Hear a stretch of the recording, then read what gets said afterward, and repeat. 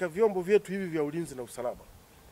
Eh, kuna baadhi ya mambo ambayo yapo katika kanuni eh, yako kwenye police general orders, kwenye standing orders, magereza, kuna vyombo vingine vyote, namna ya kuishi kwenye haya majengo ambayo tunawakabidhi askari, lakini pia na ukaguzi wa mara kwa mara, kupita humu ndani kukagua eh, usafi kwa askari, na nitumie fursa hii sasa kuelekeza. Eh, kuelekeza. Na ni, nianze na jeshi la polisi. Kabla sijaenda kwenye majeshi mengine yote.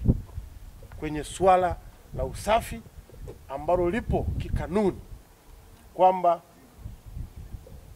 tarehe moja mwezi wa kumi na moja askari polisi wote nchi nzima, barakisi zote, nyumba zote, itakuwa ni siku ya kukagua usafi chumba kwa chumba, kitanda kwa kitanda.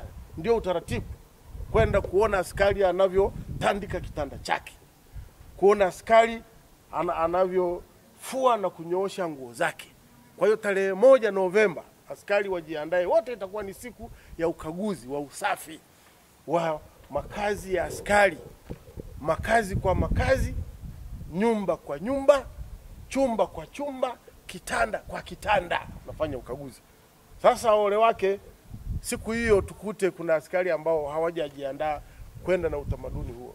Kama kawaida, watachukuliwa hatua kwa mujibu wa kanuni zinazotawala kwenye eh, kwenye jeshi la polisi, na baada ya hapo eh, majeshi mengine mkiwemo ninyi magereza, ma- zimamoto na uokoaji, alafu baadaye na wenzetu wa uhamiaji, kote kule lazima tufanye zoezi hilo, tuone. Sisi ndio tunakuwa mfano wa masuala ya usafi, nidhamu ya usafi, nidhamu ya matumizi eh, bora ya ardhi ambayo tuna, tunaishi pamoja na, na makazi. Kwa hiyo wajiandae wale ambao wameisha jisahau hao, na tuwakute kabisa mpaka na kama kama mablanketi umepewa au tuyakute umeyapanga vizuri kama kawaida ambavyo kanuni zetu zinasema.